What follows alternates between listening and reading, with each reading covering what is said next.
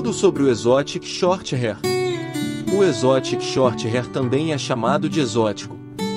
É um peludo que se parece muito com um gato persa com um focinho bem curtinho e olhos grandes e arredondados. No entanto, seu pelo é curto. Lá pelos anos 50 ou 60 alguns criadores queriam deixar o American Short Hair mais vistoso e misturaram ele com o persa e o burmês. Os filhotes desses cruzamentos tinham a aparência do persa, mas com um pelo mais curto. Muitas pessoas adoraram esse novo peludo com o pelo mais curto e os criadores decidiram desenvolver a raça. Nos anos 70 a raça foi reconhecida e hoje o exótico é muito popular. O seu tamanho varia entre 19 e 23 centímetros e o peso entre 3 e 5 quilos. A pelagem é considerada curta, mas em comparação com os gatos que normalmente temos aqui no Brasil ela é um pouco mais longa. Particularmente eu a considero semi-longa. Seus pelos são densos e macios lembrando um ursinho de pelúcia. Todos os padrões de cores são aceitos.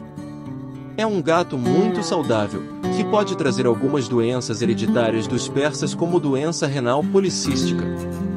O seu focinho é achatado por isso consideramos ele um animal braquiocefálico, o que pode dificultar um pouco a respiração e os exercícios. Alguns podem ter deformidades na mandíbula o que pode aumentar as doenças periodontais e dificultar a alimentação. Por esses motivos é importante o acompanhamento veterinário. Esses peludos são apegados aos tutores, amáveis e carinhosos, possuem um lado divertido e brincalhão que pode ficar escondido se você não incentivar. Costumam interagir com tudo que acontece na casa e pede carinho e atenção.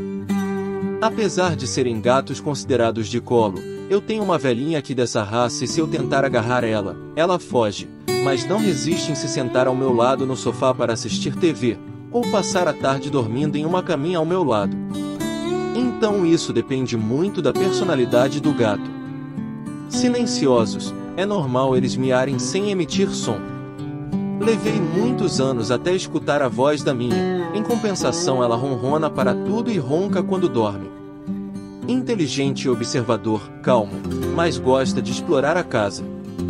Raramente gostam de escalar, o que não quer dizer que não precise de enriquecimento ambiental, só que o enriquecimento dele é de outra forma, com mais arranhadores no chão, tocas, camas e bolinhas. Gosta de aprender truques e comandos, o problema é que às vezes se fazem de surdos quando não estão afim de brincar. Mas é só você recompensar ele com petiscos, esses gordinhos amam comer. A sua expectativa de vida é de 10 a 15 anos. É um gato que precisa de alguns cuidados, o principal é a temperatura. Eles são braquicefálicos e sofrem muito com o calor e por isso, precisam viver em um ambiente climatizado, então nada de dar acesso à rua para esse peludo. Não podem ficar muito tempo em caixa transporte porque podem desenvolver problemas respiratórios. Tende a lacrimejar então talvez seja bom você conversar com o seu veterinário de confiança sobre um produto específico para limpar os olhos. O seu pelo é fácil de manter. Por ser mais curto que o do persa ele não cria muitos nós. E apesar de a recomendação ser de escovar uma vez por semana, eu escovo a minha todos os dias e é surpreendente a quantidade de pelos que retiro dela todas as vezes. Uma curiosidade sobre a raça é que se acredita que o Garfield seja um exotic short hair.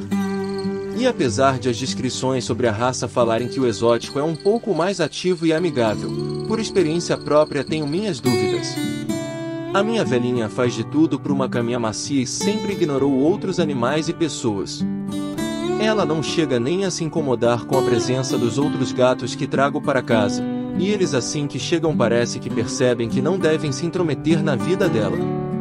Agora que você aprendeu mais sobre a raça, compartilhe informação e vamos ter gatos mais felizes.